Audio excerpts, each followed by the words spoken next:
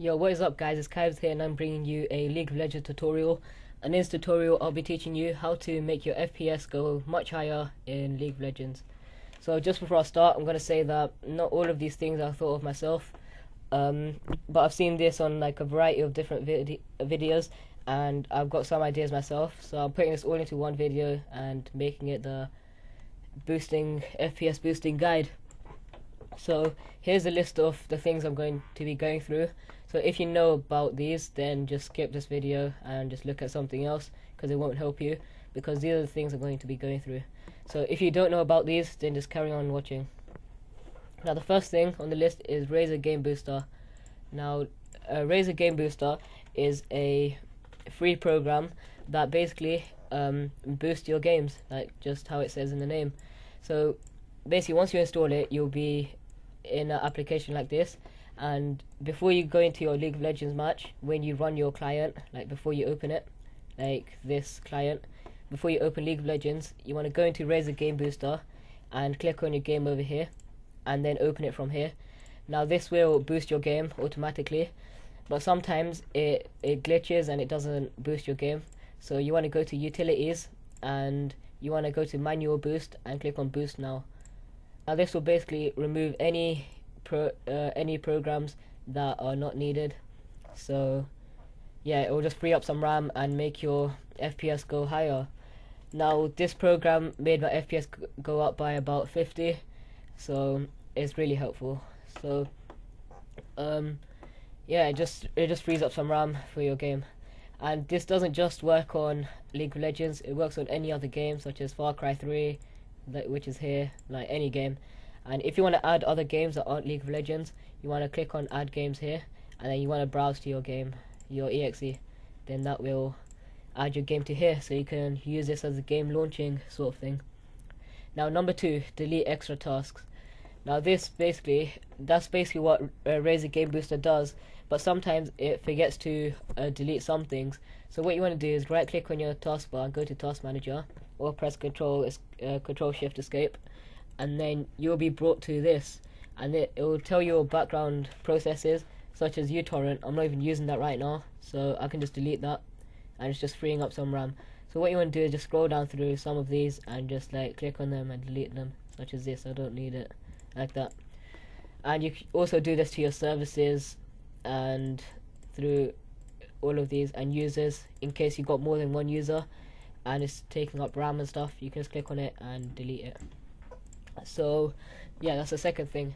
The third thing is um, you want to stay on your task manager but in most tutorials once windows processes come up the uh, people who make the tutorials say there is um, you don't want to change anything in here. But they're wrong. You could you want to change this thing called windows explorer. Now windows explorer basically um, is like the task manager and like like this thing on the side and all of that but before you go into a match, you won't need this because you're going to be into a match. You're not really going to be uh, browsing your computer.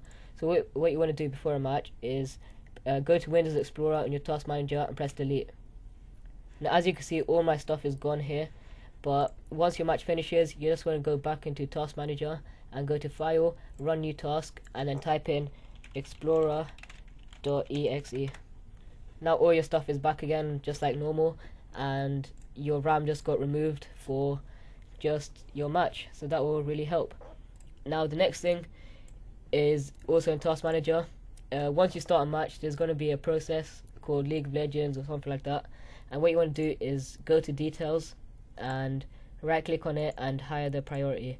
Now this will allocate more RAM to your League of Legends which will basically um, improve your FPS um, another thing you can do is in League of Legends you can go to the graphic settings and just lower all the visual things which will improve your RAM. And another thing uh, which is number five you go to your file your file explorer I think it's called. Yeah file explorer. Then right click on your computer and press properties. And then you want to go to advanced system settings. And then you want to go to advanced on here then on performance, you want to press settings, and then over here you want to do adjust for best performance. It, it should be like this. It should be like this, but you want to change it to that. Then press apply and OK. Sorry, my computer is a bit lagging right now. Yeah, but you just want to press apply and OK on that. That's not responding. Oh yeah, there we go. Okay, then once you've done that, it will um, make your FPS go even higher. Now another thing which I saw in a different video is this game.cfg file. Once you download it, you want to copy it, and then you want to go to your file explorer, go to the, your C drive, uh, Riot Games, League of Legends, config, and you want to paste it in here, like that, and replace. Now this will basically uh, change some of your game settings and the configuration, so it will boost your FPS. So another thing, you want to press the Windows key and R, like that, and it'll bring up this run. So basically, what you want to do is press right percent app data percent, and then you will get all these random things in here that you don't need anymore. So you just highlight all of them, press delete, and some things it doesn't work for, so you want to skip all of them, and then there you go. You just freed up some RAM right there. Another thing you can do is reset your computer to factory default, and that will basically free up any like uh, random things that you don't even know about, like viruses and stuff that are just using RAM for no reason.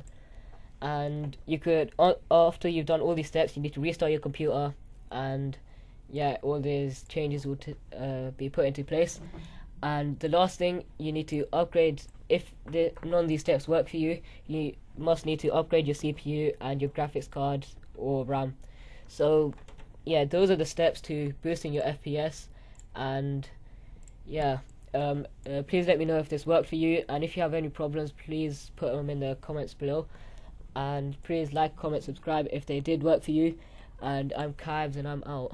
Thanks for watching.